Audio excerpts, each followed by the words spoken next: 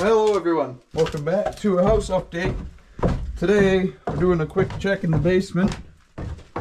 Uh, for we've got some white fuzzies on the walls down here, and I've been doing some research, and I'm hoping that it's just efflorescence, which is a type of salt deposit left on concrete after water uh, evaporates.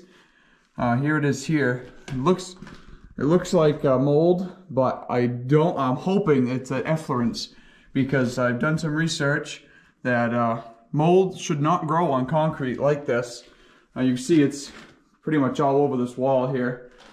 Um, mold shouldn't grow on concrete like this since it's a non-organic surface. Uh, so I also read that if you spray it with water, it should dissolve if it is efflorescence. So we're gonna give it a try here. Got my new shop light just hanging out. I got a bottle of just tap water, and I uh, I do have my mask on as well, just in case. So let's give it a spray and hope for the best that it dissolves. Let's see. Ooh, I think it is. It does. Dissolves just like salt. Try the big one. Okay, good. So that means it's non-toxic, it's not mold. It is efflorescence. I would if I'm 99% sure now. It's like a it's like a salt buildup. You can see it just kind of floats to the ground. Uh, it is harmless. where did that go? See if it stayed in one piece. Yeah. You see down there, it's just kind of falling off the wall. Probably Not. You can see over here is a little bit more of the efflorescence stuff. You can see it's coming right out of the corner quite heavily here.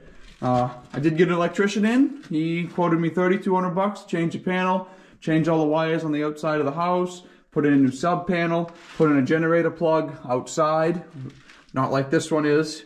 I know you guys haven't been down here yet, but we got this big old cabinet, a wash machine, and a dryer you saw over here, or vice versa. No, this is a dryer. That's the washer. We got an old hot water heater, an ancient furnace. Uh, there's the oil tank, another cabinet, no shelving or anything. That's probably coming out. Another cabinet here. Anything inside of it? Oh, some old newspaper. Uh, we got some shelves over here. Got a bucket with an unknown substance in it. Got some shelves there, a bricked up window. Um, a really old, bad electric cord. Shelves, another cabinet over here.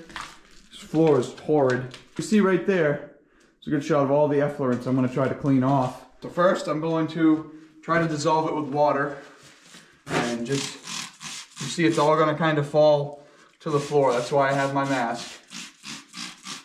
So then I'm just gonna try to wipe it off with a towel and see what happens.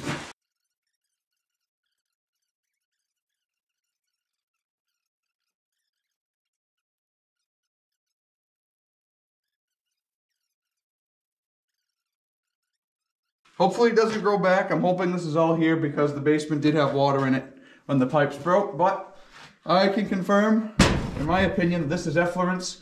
So I have no problem just tearing it off, wiping it onto the floor, and coming back with a shop vac at a later date and sucking it up. I am going to keep my mask and gloves on though, just in case there is a little bit of mold here somewhere that I can't see. But uh, thank you all for joining me on that. Hopefully this process goes a little quicker down the rest of the wall when I go get some rags from the garage. Hopefully there's some in there. But anyways, thank you for joining me on this Maine Experience. The house continues.